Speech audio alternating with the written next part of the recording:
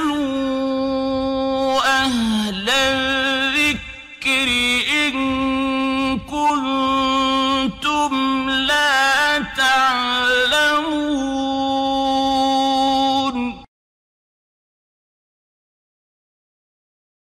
ওয়ালাইকুম আসসালাম রহমতুল্লাহ বারাকাত জীবন আপনার প্রশ্নটি দেখলাম আপনি বলেছেন পবিত্রতা নিশ্চিত করার জন্য পুরুষদের প্রসাবের পর টয়লেট পেপার ও পানি দুটোই ব্যবহার করা বেদাত পানি না পাওয়া গেলে যে কোনো কুলুফ ব্যবহার করা যাবে, কিন্তু পানি সহজলভ্য হলে কুলুফ ব্যবহার বাদ দিয়ে শুধু পানি ব্যবহার করে পবিত্রতা নিশ্চিত করতে হবে, তবে দুটোই ব্যবহার করা যাবে না। কারণ রসুল্লাহ সাল্লাহ আলিহ সাল্লাম করেননি। তো এগুলো তো দেখে পড়লাম, বাকিগুলো আর দেখা যাচ্ছে না, যেহেতু উত্তর দিচ্ছি। তো যাই হোক, এই কলব বিষয়ে জানতে চাওয়া হয়েছে যে এর বিধান কতটুকু? মানে একসাথে ব্যবহার করা, পানি এবং কলুক। জবাবিল্লাহ তৌফিক। রসুল্লাহ সাল্লাহ আলী আসাল্লামের আদর্শ থেকে যা আমরা জানি, তাহলে এই যে তিনি যখন পানি পেয়েছেন হাতের নাগালে, পানি দিয়ে পেশা পায়খানার কাজ সেরেছেন মানে শৌচকার্য সমাধান করেছেন। আর যখন পানি পাননি, তখন ঢিলা কলুক ব্যবহার করেছেন। বলা যায়, উভয়টি বোখারি সহি মুসলিম ইত্যাদি থেকে প্রমাণিত। আর ঢিলা কুলুক পানি সত্ত্বেও ব্যবহার করা, এটা রসুল্লাহ সাল্লাহ আলহি আসাল্লাম থেকে মোটেও প্রমাণিত নয়। এমনকি কবাবাসী সম্পর্কে যে বলা হয় যে তারা ঢিলা কলুক পানির সাথে ব্যবহার করতেন বলে তাদের প্রশংসায় আল্লাহ আয়াত নাজিল করেছেন।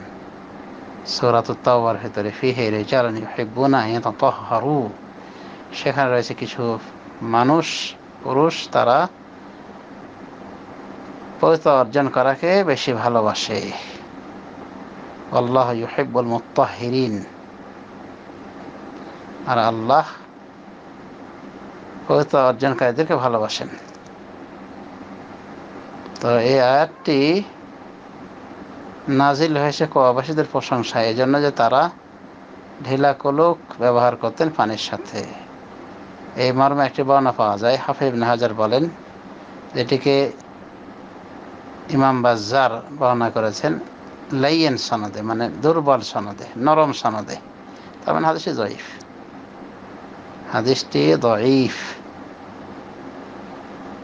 আর এর থেকে সহি যে হাদিস সেখানে বলা হয়েছে যে রসুল্লাহ সাল্লাহ আলী আসাল্লাম তাদেরকে বলেছিলেন যে, তোমরা কি এমন কাজ করো যার ফলে আল্লাহ রব্বুল্লা আলমিন তোমাদের প্রশংসা করেছেন? যে তোমরা পবিত্র বর্ণা পবিত্র অর্জন করো। পবিত্র অর্জন করাকে ভালোবাসো। তখন তারা বলেছেন যে, আমাদের পার্শ্ববর্তী সমাজ ছিল এহুদি সমাজ। তো তাদেরকে ফলো করে আমরাও আমাদের শৌচকার্য সমাধা করেছি পানি দিয়ে। পানি দিয়ে আমরা এটা করে থাকি মানে শুধু পানি ব্যবহারে আমরা পবিত্র অর্জন করে থাকি। তখন রসুল্লাহ সাল্লাহ আলী আসাল্লাম তাদেরকে সাপোর্ট করেন এবং তাদেরকে আরও উৎসাহিত করেন। এই মর্মের হাদিসটি স্মরণগ্রন্থে রয়েছে এবং এটি সহি সনদে এসেছে, বিশুদ্ধ হাদিস। সুতরাং পানি এবং কোলক একসাথে ব্যবহার করার বিষয়ে আমরা বলব যে এটিকে যদি কেউ সন্ন্যাহ মনে করে মানে এটা করতেই হবে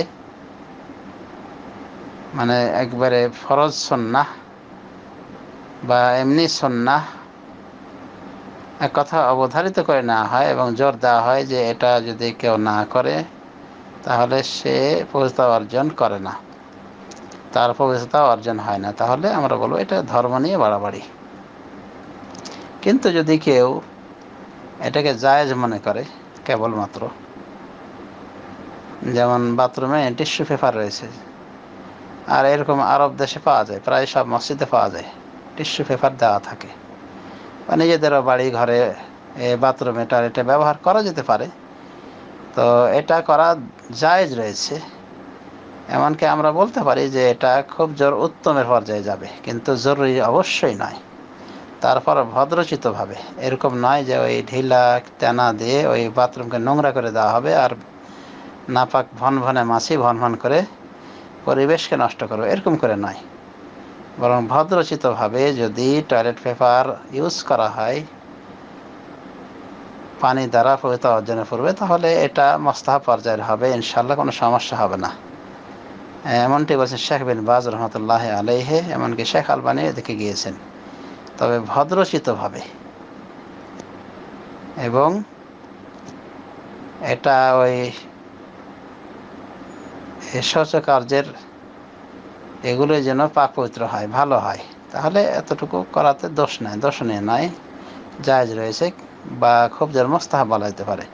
কিন্তু এটাকে ফরজ করে নেওয়া এটা না করলে পবিত্র অর্জন হবে না। যেমন বলা হয় আমাদের দেশের পক্ষ থেকে, আমাদের দেশি আলেম আলমার পক্ষ থেকে, হানাফিদের পক্ষ থেকে। তো এটাই কি, এটা কি আলবানী রহমতুল্লাহ আলহে দিন নিয়ে বাড়াবাড়ি বলে গণ্য করেছেন? ধর্ম নিয়ে বাড়াবাড়ির দিকে বাড়াবাড়ির পর্যায়ভুক্ত গণ্য করেছেন। তাছাড়া মার্জিত হবে টয়লেট পেপার ইত্যাদি। পরিবেশ ঠিক রেখে এগুলি ব্যবহারে কোনো সমস্যা নেই ইনশাল্লাহ যায় যাচ্ছে এক কথায় বা মস্তাহাব হতে পারে, কিন্তু কোনো ক্রমেই এটা ফরজ বলা যাবে না। কারণ রসুল্লাহ সাল্লাহ আলী আসালাম উভয়টি একসাথে ব্যবহার করেছেন, মর্মে কোনো দলিল পাওয়া যায় না। তবে এটা বৈষয়িক বিষয়। এটা যদি কেউ করে ভদ্রচিতভাবে, যেমন বললাম, টিস্যু পেপার, টয়লেট পেপার ইত্যাদির মাধ্যমে, তাহলে সমস্যা হবে না ইনশাআল্লাহ। বরং সালাফি কিছু কিছু আলামায় কারা মোস্তাহাব বলেছেন। মানে টয়লেট পেপার ইত্যাদি ব্যবহার করা, পানি ব্যবহারের আগে। এতটুকু আমরা বলতে পারি। আর বাড়াবাড়ি যখন হবে এটা নিয়ে, আর ওই ঢিলা কলকের নোংরামিতে ভরে যাবে টয়লেট বাথরুম তো এই জাতীয় পরিবেশের ক্ষেত্রে কিন্তু কেউই বলেনি যে এটা মোস্তাহাব। এমনকি সালাফি আলামা একরাম যারা মোস্তাহাব বলেছে, তারা মার্জিতভাবে টিস্যু পেপার ইত্যাদির বিষয়ে। কিন্তু এই জাতীয় পরিবেশ যদি হয়, সেক্ষেত্রে কিন্তু কেউই বলেননি। বরং দিন হলো পবিত্রতার উপর নির্ভরশীল। পুরো দিনটাতেই রয়েছে পবিত্রতা সুতরাং সেটা অবশ্যই প্রত্যাখ্যাত। এই নোংরামে ইসলাম ইসলাম সাপোর্ট করে না। বলা যায় প্রসঙ্গক্রমে যে আমার দেশে এই পর্দার দোহাই দিয়ে কত রকমের ব্যায়াম রয়েছে। এক পা আর এক পায়ে বাড়ি মারছে, কাশি দিচ্ছে, খোঁকে দিচ্ছে লজ্জাস্থান থেকে বারবার তাকাচ্ছে, লজ্জাস্থান ধরে হাঁটা দিচ্ছে। চল্লিশ কদম নাকি হাঁটতে হবে? না, তাদের নিকটে। আবার এটাও বলা হচ্ছে যে এই নোংরা, ঢেলা, তেনাকানি, হাসরের মাঠে নাকি ওজন হবে? তো এগুলি সবই ধর্ম নিয়ে বাড়াবাড়ি। রসুল্লাহ আসলাম বলেন যে, আমার অম্মতের কিছু লোক অচিরে দোয়া এবং পবিত্রতা নিয়ে বাড়াবাড়ি করবে। তো বলা যায় এটা একটা বাস্তব প্রেক্ষাপট। যে পবিত্রতা নিয়ে বাড়াবাড়ি এই পর্যায়ে চলে গিয়েছে। যে যেটার ক্ষেত্রে না আছে রসুল্লাহ সাল্লাহ আলী আসসালামের স্পষ্ট কোনো সহি দলিল, সেটাকে মনে করা হচ্ছে যে ফরজ হয়ে গেছে। এটা না করলে ফরজ আদায় হবে না। এটাকে আল্লামা ইবনু জাউজি বহুদিন আগে বলেছেন, এটা শয়তানের কুমন্ত্রণা থেকে এসেছে। মানে শয়তানে এটা শিক্ষা দিয়েছে যে তোমরা পবিত্রতা হওয়ার পবিত্র হওয়ার জন্যে, অধিক পবিত্র হওয়ার জন্য এই কাজ করো। আর উনি বলেন যে এটা কোনো সমাধান নিয়ে আসবে না, বরং আরও সমস্যা বাড়াবে।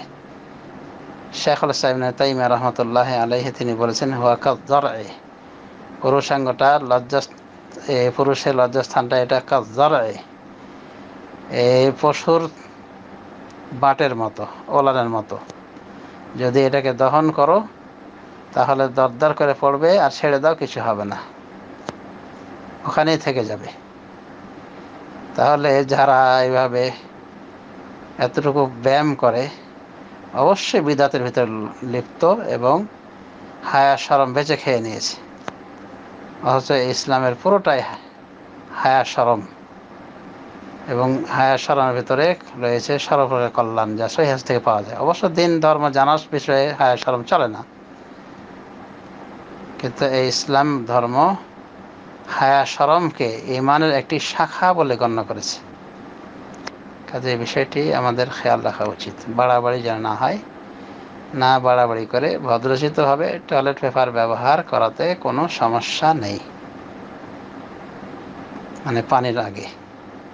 আর এগুলি ছাড়াও পবিত্রতা অর্জন হয়ে যাবে।